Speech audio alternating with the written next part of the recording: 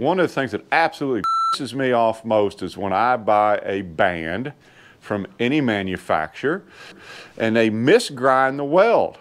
This is incredibly important. Most people don't even realize how important it is.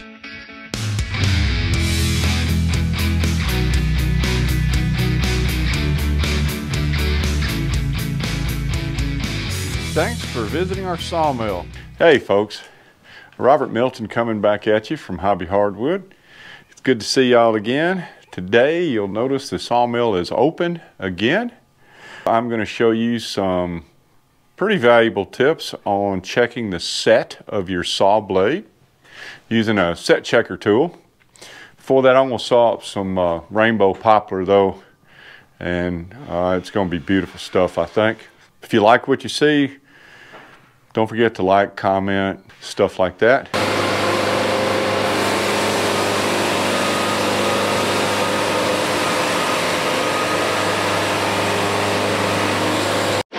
Just look what a good band will do when you're sawing.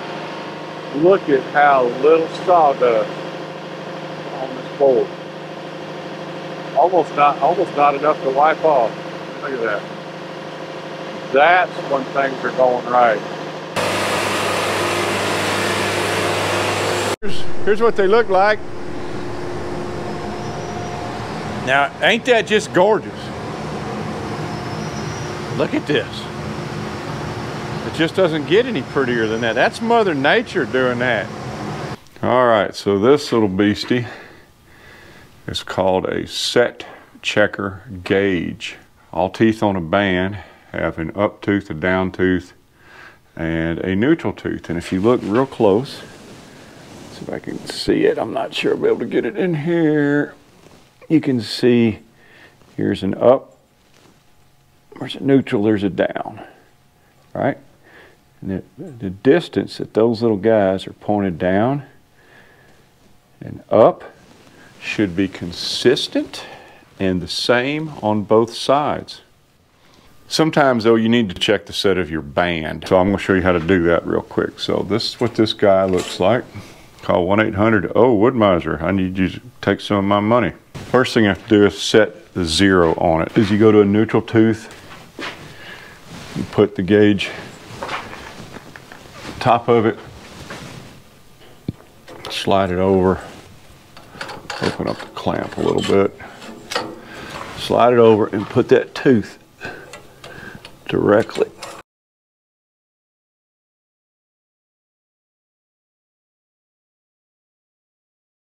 And put that indicator directly on that tooth. Then you take this little guy and you zero it out. It's extremely important that you do it on a neutral tooth. It's also extremely important that you do it on both sides of the same tooth.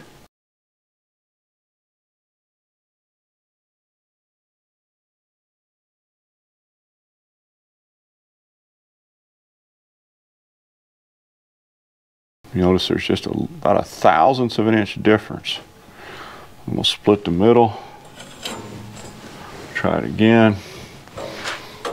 I mean, it does take a second to get this thing right, but when it's right, it's right.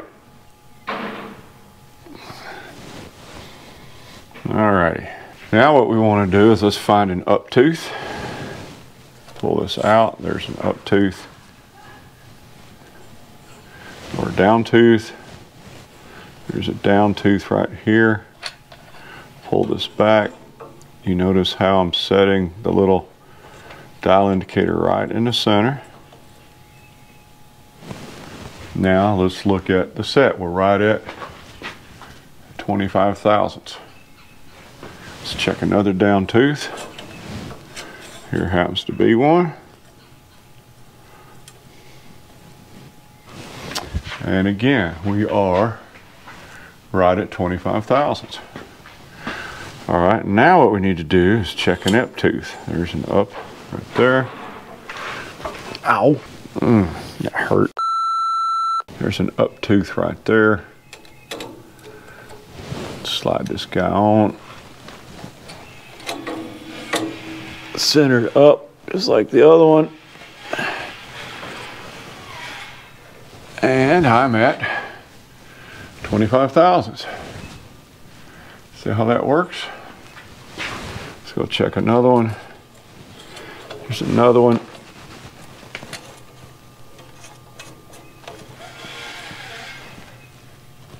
Right there. And guess what? We are at 25 thousandths.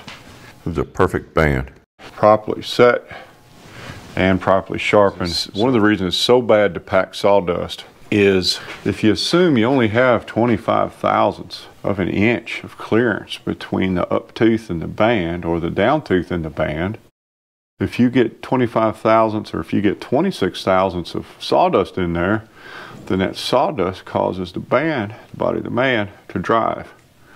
It, it touches the back. Look how easy it is to flex.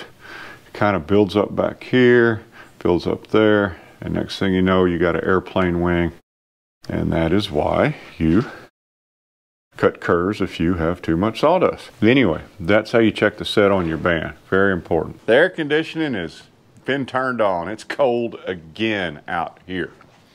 So I did that set checking on the band before and it was amazingly tight. If you've ever tried to set your own bands, most people shoot for two to three thousandths. I try to shoot for always less than one. Extremely difficult. And then I'm given a production band that's well under a thousandths, maybe a half a thousandths on multiple teeth. As I was making the video, I said this band is perfect, but it, I hadn't checked everything yet, so I was a little premature on that. So I woke up in the middle of the night, thought about that, and said, yeah, I need to go back. If I'm going to call a band a perfect band, by golly, I'm going to make sure it's perfect. So now I'm going to show you how to check the weld on a band. The weld is extremely important. It's not unusual for a band manufacturer after they weld a band together, all bands have a weld joint, um, after they weld a band together to have a heat affected zone that is more brittle than the rest of the band. That's normal in welding. So uh, there's also some weld buildup. So the manufacturer is required to do a couple things. They have to post-heat treat or otherwise stress relieve the weld, anneal it, to get it to the same approximate properties as a bandsaw blade. That way it does not crack under brittle fracture conditions, cycling around and around and around. You don't want your bands to crack in the weld. That's typically an indicated manufacturing process issue. I can't run the band long enough right now to see if it's going to brittle fracture, but I have run the band long enough uh, yesterday to know this bad boy is sawing like a laser beam. It's fast, it's flat, leaving almost no sawdust. This is about to be, one more check, a perfect band. So the next thing I got to do is I got to check the weld. Now the weld should be flat one of the things that absolutely pisses me off most is when I buy a band from any manufacturer and they misgrind the weld. You probably could go out to your bands right now and feel them. They're going to hollow out the weld, which means that the weld is now thinner than the band. Well, gee, that's not going to work. Or they don't grind it enough so that the weld is higher. It's proud of the band. Either way, you can always tell when you're running these bands because it's going across the metal band wheels. That weld's going to sound like a train coming down a track, right? Chicka, chicka, chicka, chicka. Hey, I got some rhythm right there, right? You can put on a good band with a properly ground weld and you can hear it in the first five seconds. You know it's right. So I know this one's right because I can hear it. But I wanted to show you another way to test it. And this is how you do it. It's actually pretty straightforward. You find, you find a light. You put a straight edge. It's got to be on the mill because again, you got to take the curvature out of the band. You put it on the mill. You lay a straight edge on top of it. You put a light behind it.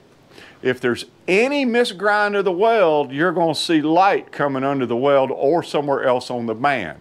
If you can't see any light, that means that level is sitting straight on that band and that weld is a good one. So we're going to check this guy. I got my light. There's the weld, right? Can't miss it. You can see where the grind marks are and everything, right? I'm going to put this straight edge right on the weld, set her down. I'm to put the light behind it and shine it right behind it. And you'll notice there is no light coming between the weld and the band. I don't know if you can see this or not, but anyway, that's how you check it. This is a simulation of a bad weld. Notice I got two sungla two glasses on, so I'm concentrating. Um, simulation.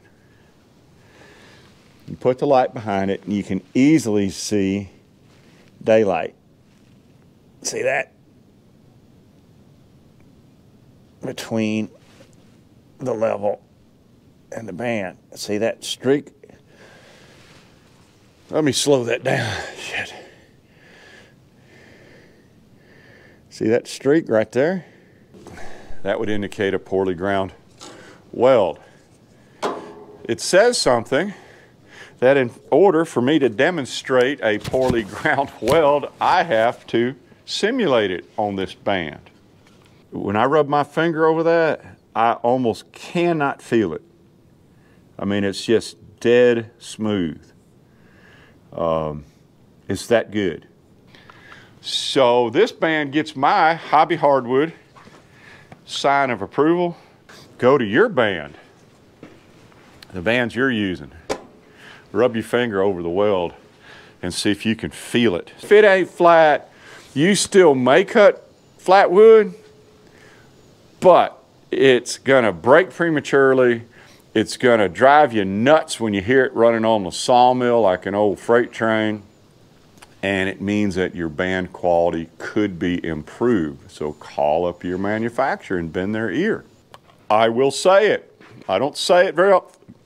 This band is perfect. So you're probably going to wonder where I get my bands from. As I've said before many times, if if they were better, I'd be using them. There aren't.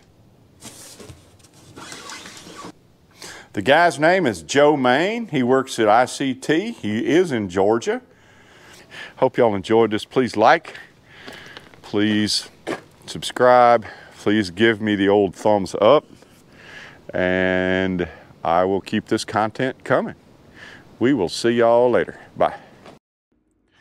Thanks for visiting our sawmill. Click on the links above to see more of our videos.